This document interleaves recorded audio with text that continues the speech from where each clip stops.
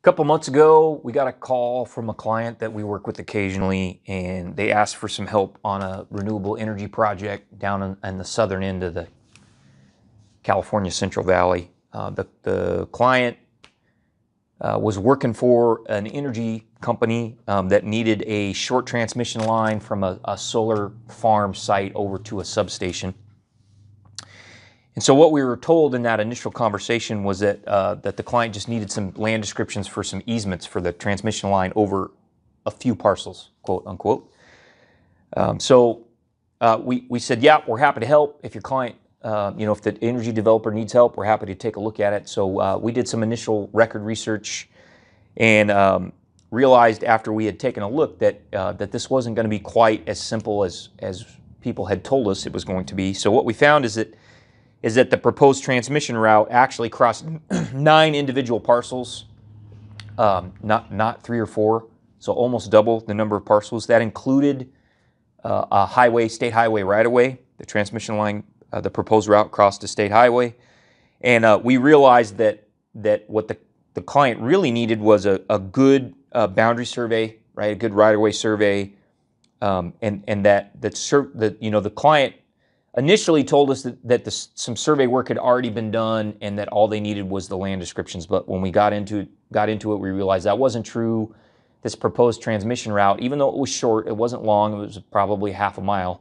Um, it was well outside the bounds of the survey that had been done on the solar farm, and uh, they were going to need way more than just three or four uh, land descriptions for some some utility easements. Okay, so um, you know we originally talked about you know we could do we could do a few uh, land description and plats for utility easements, you know, for several thousand dollars, maybe, you know, somewhere between six and six and ten thousand dollars, depending on on what they needed.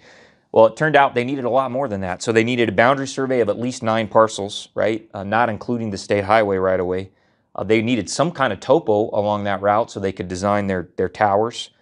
Um, they needed a right of way survey of, of the highway, right? And and they weren't going to let Caltrans wasn't going to let them put an overhead line over over the highway. They were going to have to do a jack and bore under the highway, which means you got to know exactly where the highway right of way is, so you can you can place your your bore pits. Um, they were going to need at least nine land descriptions and plats, and I suspect the number was going to be more than nine by the time they figured out access easements and some other things like that. Uh, they were going to need uh, an encroachment permit, uh, Caltrans encroachment permit to get their um, their jack and bore under the highway. They, that was probably going to have to be monitored by a licensed surveyor during construction. Uh, they were going to need right-of-way staking of the proposed route so they could build their uh, their towers and their infrastructure. And by the, by the time we were all done, we were going to we were to need to do a record of survey map because we were going to survey some some previously unsurveyed parcels. So uh, that was not six thousand or eight thousand dollars. That was a lot of work. Um, you know, that was tens of thousands of dollars worth of work.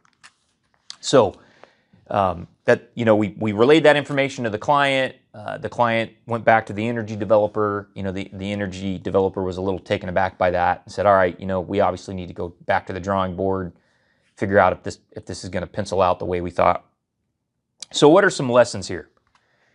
Um, if you're building an energy transmission line, um, that's not like putting up a tool shed in your backyard or building a 7-Eleven on the corner lot. Like that, that's a big deal. Um, there are a lot of issues that could potentially come into play on a project like that. I mean, we, we haven't even talked about the land use issues or CEQA issues that might come up. I mean, just from a right-of-way perspective, there you know there was a lot of uh, potential things they hadn't thought about. Uh, you know, you if, if you come to California, this was an out-of-state energy developer, um, and I've seen this happen over and over again. You know, you're you're an out-of-state company and you come ca- to California to build major infrastructure. Uh, you better put your big boy pants on. Uh, we we don't just cowboy stuff here in this state. We're heavily regulated in every way, um, and you really got to know what you're doing. Um, you, you, you know you can't just get your excavator out and your bulldozer and start moving dirt. Uh, not in this state. Uh, there's a there's a lot of red tape and there's a lot of regulation. So uh, you got to be sophisticated and intelligent, and you got to be uh, prepared to get your checkbook out too, right? Um, so you're you're going to need more than a couple survey sketches uh, to get your infrastructure uh, put in the ground here in California. You know, you're, you're going to need some professional survey uh, products. You know, in this case, they needed a good boundary survey. They needed a good topographic survey. They probably needed some documents for appraisers. They needed plats and legals. They needed a monitoring survey for the jack and bore. Um, there was going to need to be a record of survey. I mean, there was a lot of stuff here that they just had never thought about and probably never seen. Uh, the other thing I think it teaches you is if, if you're going to do a project like that, you need to hire a good commercial real estate consultant or right of way consultant or real estate manager. Um, you know, a lot of these companies focus just on the physical infrastructure and the construction, and they don't realize that the that the property rights right of way component is just as complicated um, as the as the construction component. Um, but they're not used to dealing with that. But you, you need somebody helping your organization with the real estate and, and the right of way uh, side and the permitting side, just like you have somebody managing the, the construction side. So don't skip that. Um, I'll have Lori, our, our content marketing specialist, put a link in the description of this video to another video where I talk about why organizations need a real estate manager, just like they have a building manager or facilities manager. It's, it's a related topic, so I'll make sure we get that link in.